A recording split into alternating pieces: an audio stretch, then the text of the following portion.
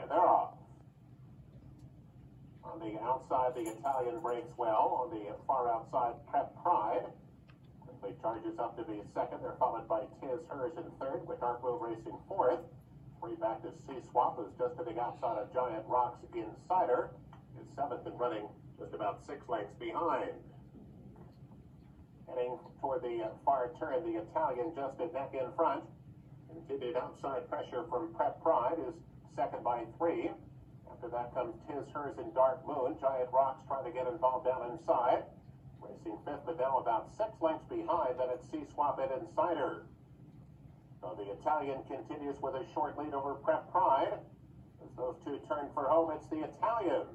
The Italian cuts the corner and opens up two and a half lengths with only a furlong to go. Prep Pride on the outside is a driving second. Giant Rocks has moved to third. Insider has now come on to be fourth, but the Italian passed the 16th pole, striding clear to a three and a half, almost a four length lead. He gets seven to five on the Italian, and the Italian is a clear cut.